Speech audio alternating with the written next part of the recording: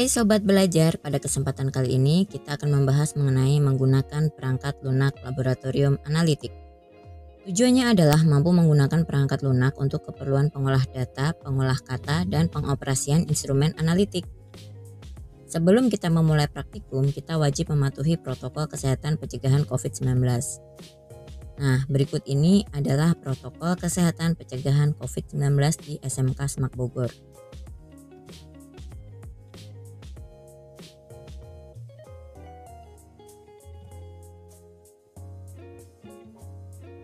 Senantiasa menggunakan masker, pemeriksaan suhu tubuh, cuci tangan di tempat yang telah disediakan.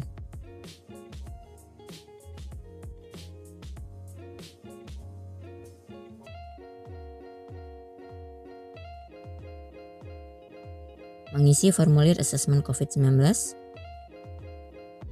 menjaga jarak dengan peserta yang lain.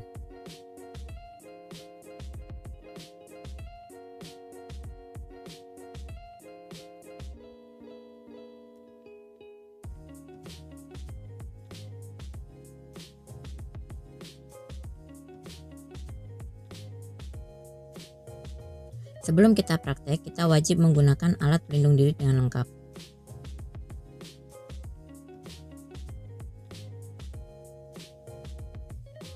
Pertama ada jas laboratorium, kemudian ada masker, kemudian ada googles, dan sarung tangan karet. Kita pakai dahulu jas labnya.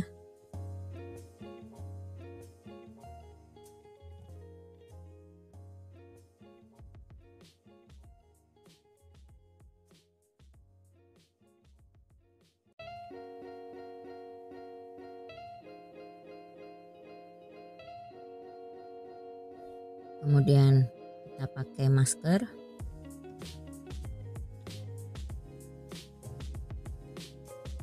Selanjutnya kita pakai googles. Dan yang terakhir kita pakai sarung tangan karet.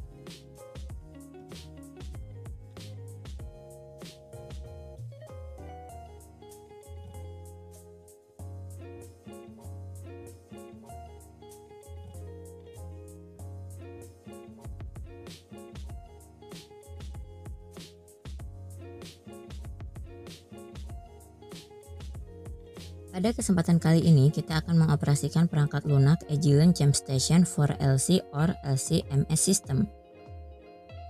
Berikut ini adalah instruksi kerja HPLC Agilent 1100.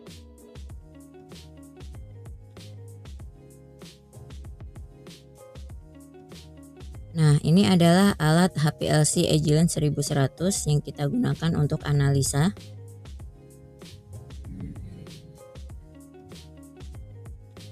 Dan ini adalah fase gerak yang kita gunakan.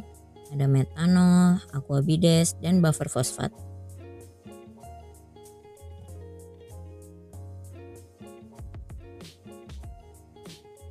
Cara menyalakan HPLC Agilent 1100. Pertama, kita tekan tombol on pada CPU komputer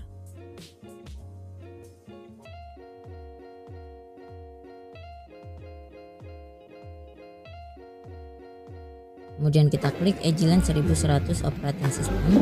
Kita masukkan passwordnya. Selanjutnya kita tekan tombol on pada A dari atas ke bawah.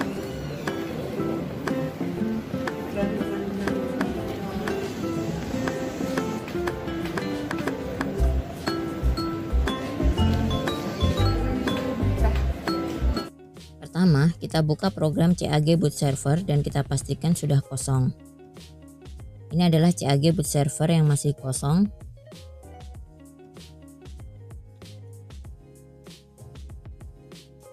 Tunggu sampai status BOOTP request finish. Nah, kalau sudah ada isinya, lalu kita buka aplikasi instrumen satu online. Dan akan muncul tampilan seperti ini. Klik kiri icon pompa, kemudian pilih setup pump.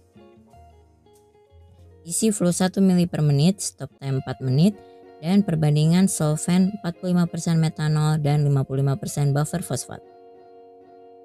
Klik ikon pompa lagi, kemudian pilih kontrol, pump on, klik OK, tunggu hingga pressure stabil. Klik ikon pompa lagi, kemudian pilih solvent bottles filling.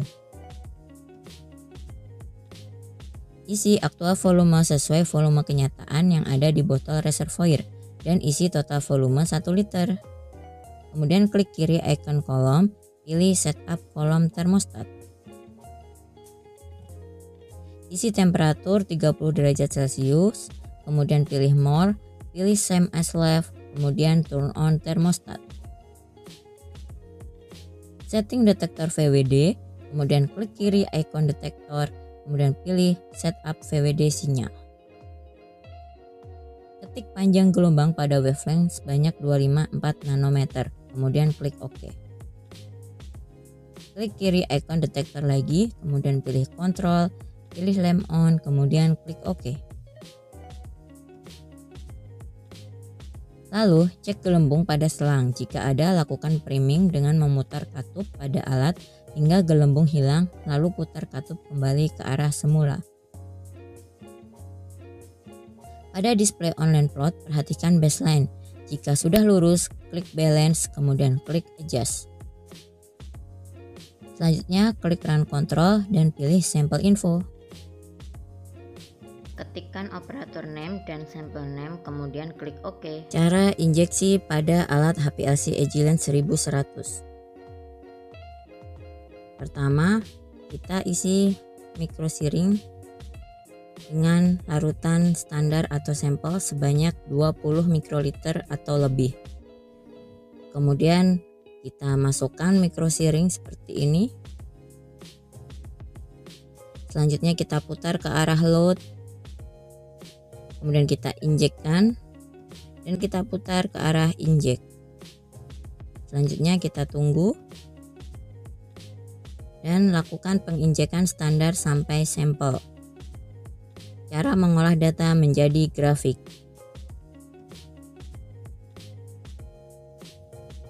Buka data hasil analisa dalam bentuk PDF.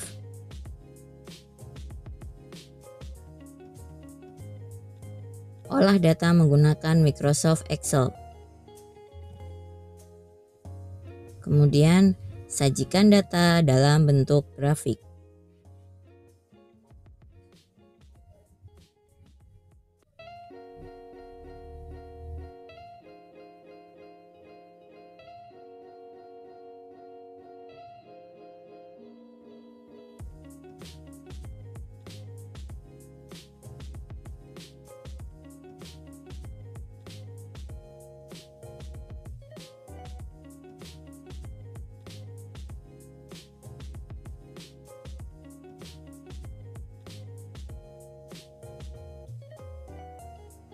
Catat hasil data analisa, kemudian klik close program dan shutdown komputernya.